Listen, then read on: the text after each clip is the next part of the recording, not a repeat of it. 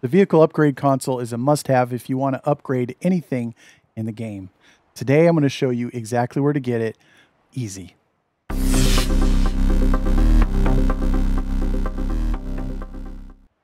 Hello everybody, I'm Granddaddy Gamer and today we're going to be going after the vehicle upgrade console and you're going to need this to upgrade things like your Seamoth and your prawn suit.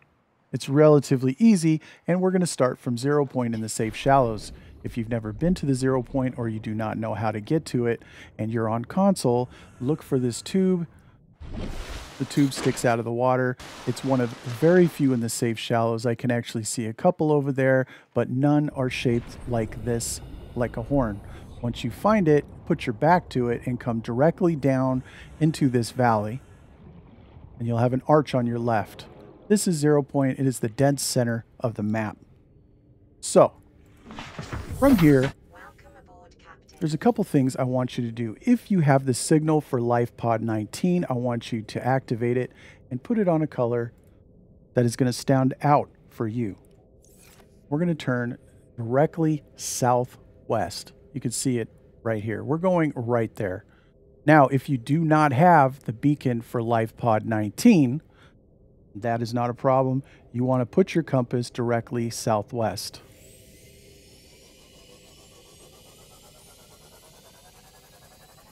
For this, you will need the Mark 1 depth module for your Seamoth. It is not needed, but it definitely is going to make your life a lot easier. We're going to follow along going directly southwest, and I will not cut away so that you guys can follow along a lot easier.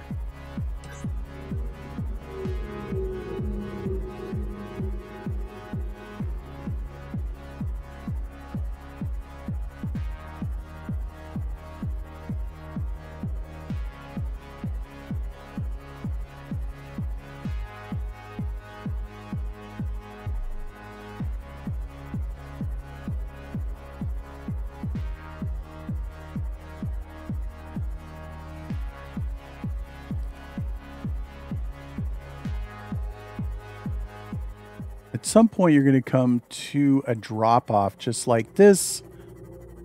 Go straight down. It will start to get dark and murky. And we're looking for a giant canyon. There'll be a wreckage around the giant canyon.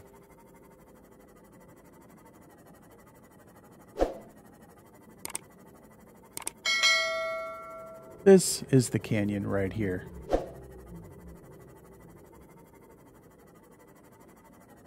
You can see the wreckage.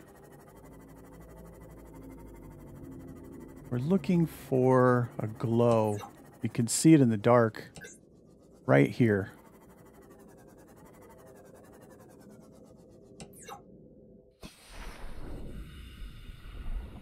There is the vehicle upgrade console.